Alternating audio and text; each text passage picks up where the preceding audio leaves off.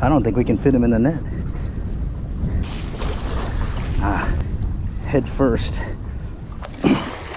Got it. I think I need your help. Yep. Pull down. Yeah, put it down. He's heavy.